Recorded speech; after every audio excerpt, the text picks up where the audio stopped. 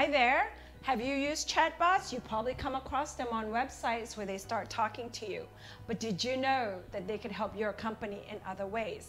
My name is Pashuri, the founder of BrandNow.Asia. We provide marketing and PR services to some well-known brands such as Grab, Lalamove, and Shopback. Stay tuned for tips on how you can use chatbots for your company. So, a few years ago, online marketing was all about infographics and apps. But now the rules are changing and people start to understand the true potential of a new player, chatbots. First of all, what are chatbots and why does everyone keep talking about them? They are computer programs designed to simulate conversation with a human user, using more or less complicated answer system, usually on the internet.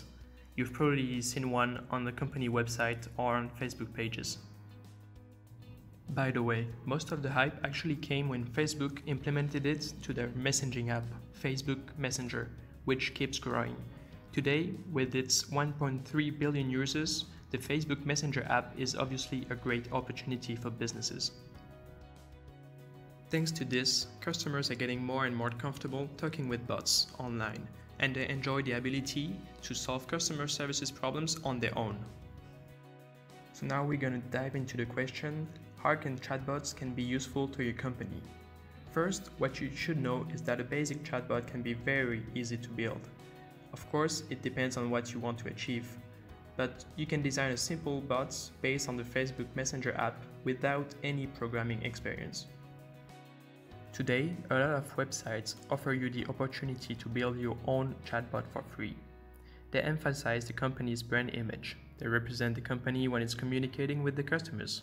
So, from a marketing point of view, is the perfect embodiment of brand building. They offer a straightforward service. A well-optimized bot communicates only the essentials and does not overwhelm the user, which is good because we all know that people tend to stand away from overwhelming brand communications these days. Most of the apps nowadays, actually 80% of them, are used only once and then are deleted but the only type of app that stays relevant no matter what are the messaging apps. That's why chatbots are going to grow in relevance in the next few years. Also, it can be very easy to get one of the most quote-unquote simple chatbots. It doesn't cost much, and some companies even develop their own and only requires very little maintenance. Here are some examples of the different two types of chatbots. The first one is the simplest type of chatbot. It's also known as scripted.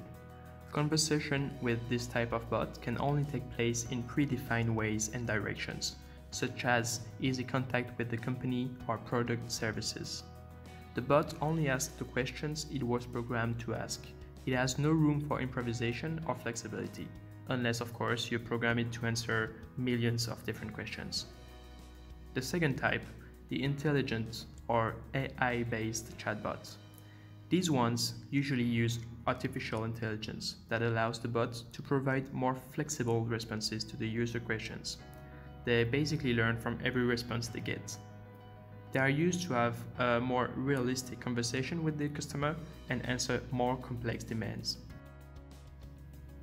It can be a good idea to have one in a small or medium-sized business, or startup even, as it allows you to have some sort of basic customer support without the need to have a full-time employee being in charge of it. But one thing to be aware of is that the bot isn't about replacing a human.